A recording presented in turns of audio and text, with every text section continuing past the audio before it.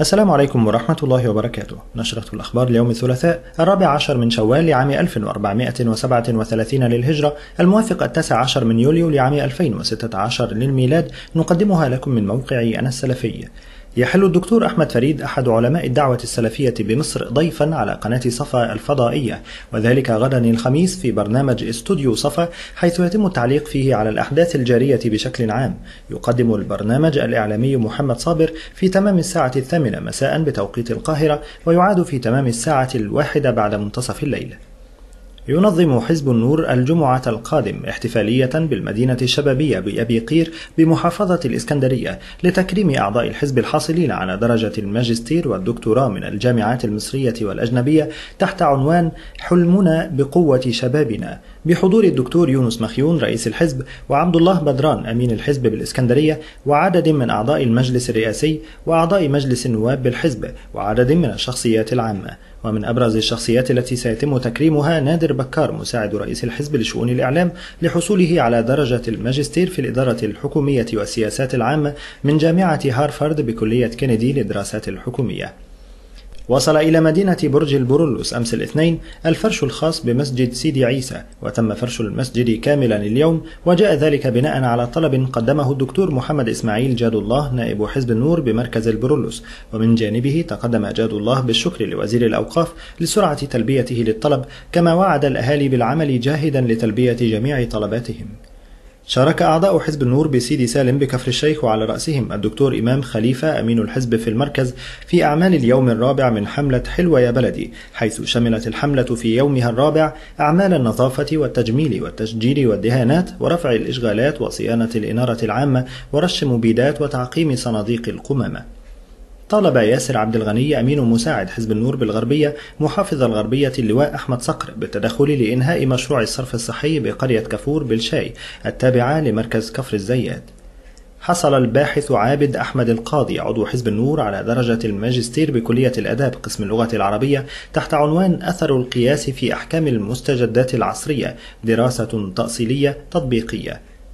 قال المرصد السوري لحقوق الإنسان إن عشرين مدنيا على الأقل قتلوا أمس الاثنين في غارات شنتها مقاتلات تابعة للتحالف بقيادة أمريكا على مدينة منبج الخاضعة لسيطرة تنظيم داعش في شمال سوريا قرب الحدود مع تركيا.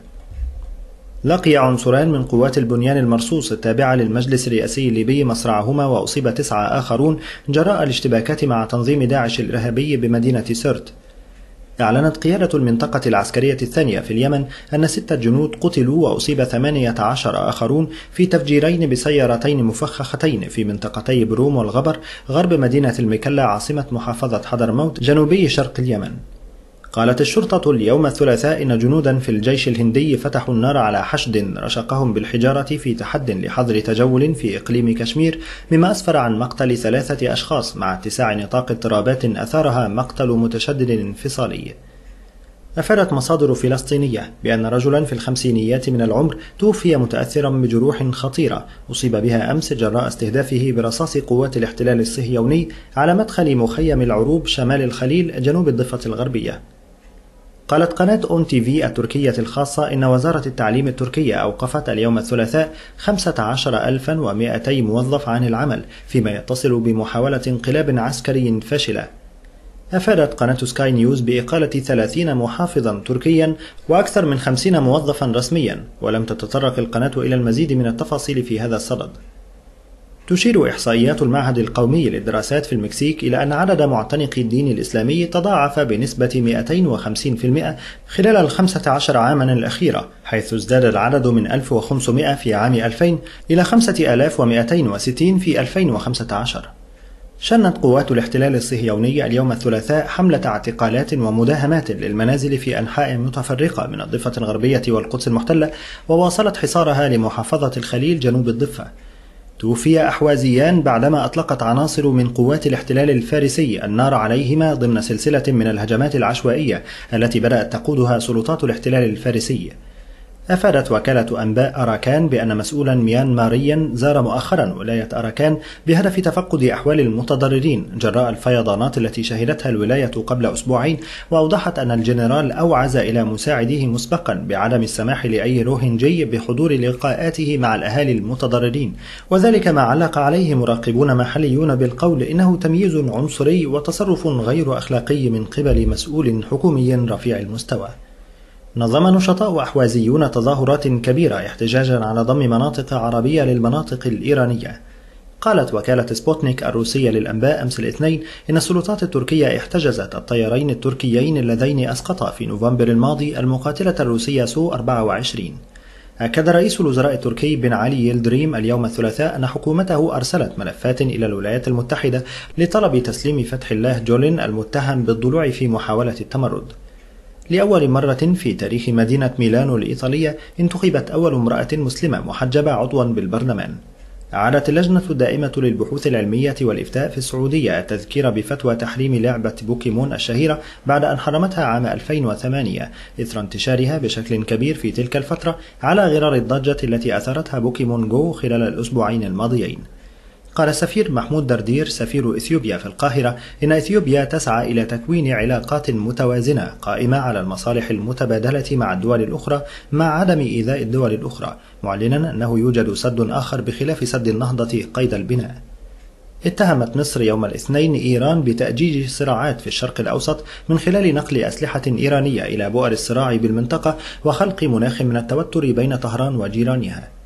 أجرت لجنة تقصي حقائق مجلس النواب حول فساد توريد القمح زيارة مفاجئة لصوامع الشركة المصرية العالمية الأسد بالكيلو 59 على طريق القاهرة اسكندرية الصحراوي داخل نطاق محافظة البحيرة. وأكد النائب إيهاب عبد العظيم عضو اللجنة أنه تم التحفظ على الأوراق والمستندات الخاصة بالصومعة مشيرا إلى اكتشاف عجز 23429 طن توريد وهمي وهو ما يكلف خزانة الدولة 65 مليون جنيه. تفتتح وزارة الأوقاف يوم الجمعة المقبل عشرة مساجد جديدة بعدة محافظات وذلك في إطار خطة وزارة الأوقاف المصرية لإحلال وتجديد وإعادة بناء المساجد. قال الدكتور عمرو الجارحي وزير المالية إن الوضع المالي في مصر صعب للغاية مشيرا إلى أن مصر تعاني من عجز كبير جدا يتراوح بين 11 إلى 13% من الموازنة منذ خمس سنوات أكد الدكتور جمال فاروق عميد كلية الدعوة الإسلامية أن الأزهر الشريف رفض قرار وزير الأوقاف الدكتور محمد مختار جمعة بأن تكون خطبة الجمعة موحدة ومكتوبة. وافق مجلس النواب برئاسة الدكتور علي عبد العال في جلسته المسائية على المادة 23 من قانون الخدمة المدنية والخاصة بتسوية العامل في حال الحصول على مؤهل وافق مجلس النواب برئاسة الدكتور علي عبد العال على المادة 23 من قانون الخدمة المدنية والخاصة بتسوية العامل في حال الحصول على مؤهل أعلى من الذي تم تعيينه عليه. قال العميد محمد حنفي رئيس مصلحة الدمغ والموازين التابعة لوزارة التموين والتجارة الداخلية إن المصلحة تقدم خدمات للمواطنين منها الكشف على الذهب مجانا بمقرها في حي الجمالية بمحافظة القاهرة نفى حمدي عبد العزيز المتحدث الرسمي لوزارة البترول صحة ما نشر حول وجود زيادة في أسعار البنزين والسولار في حال إقرار قانون القيمة المضافة. تشاهدون اليوم على موقع أنا السلفي كيف نقرأ سورة الفاتحة واحد وباب المعراج من سلسلة الشرح المفهم لمن فرد به البخاري عن مسلم والطبيب الكافر من سلسلة باب الجنائز من فقه السنة فضيلة الشيخ ياسر برهامي مجالس القيام الخامس عشر الشيخ محمود عبد الحميد. المحاضرات من الخامسة عشرة وحتى السابعة عشرة من سلسلة كتاب الرقاق من صحيح البخاري الشيخ سعيد السواح. وقفات مع قصة يوسف عليه السلام. واحد جلسة في بيت النبوة. من سلسلة قصص الأنبياء الشيخ سعيد محمود. ترك العجلة في الصلاة. وصلي صلاة مودع والتهيؤ للصلاة قبل الدخول فيها. من سلسلة أضف لذة للصلاة الشيخ إيهاب الشريف. تقرؤون اليوم على موقع أنا السلفي احذروا دعاة الضلال الخشن والناعم في الإعلام. كتبه أسامة شحادة من محراب الصلاة إلى محراب الحياة. كتبه إيهاب شاهين تعليق الدكتور ياسر برهامي على أحداث تركيا وموقف الدعوة السلفية من العالمانية التركية. بالإضافة إلى قسم جديد خاص بإجابات الدكتور ياسر برهامي على موقع أسك. انتهت نشرة الأخبار من موقع أنا السلفي السلام عليكم ورحمة الله وبركاته.